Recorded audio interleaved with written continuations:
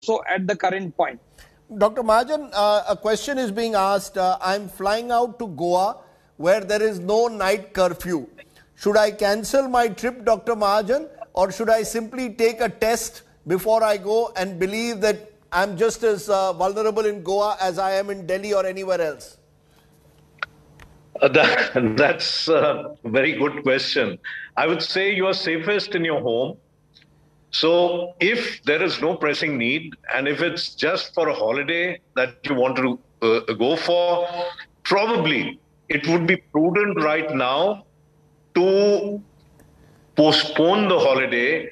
These are early days, as has been said, of the third wave. Mm-hmm. You do not want to be caught in it, especially when you're away from home, uh, even though it is uh, uh, believed that it would be milder, we don't know for sure. These are early days, and hence, I would say it is better if you don't go.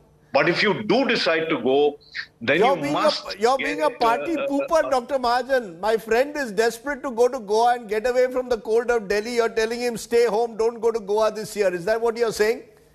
Uh, I'm I'm giving you an alternative, uh, giving him an alternative choice as well, uh, Rajdeep.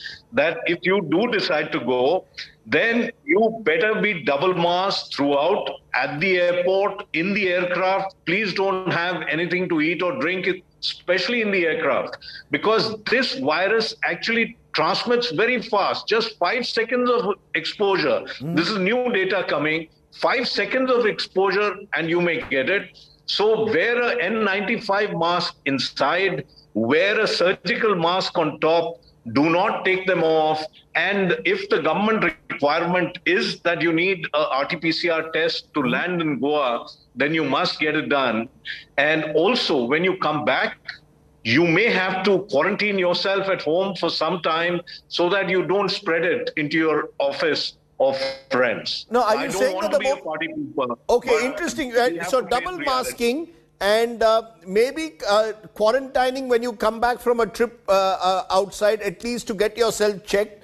Dr. Kumar, you're also in support of double masking? Yes, definitely.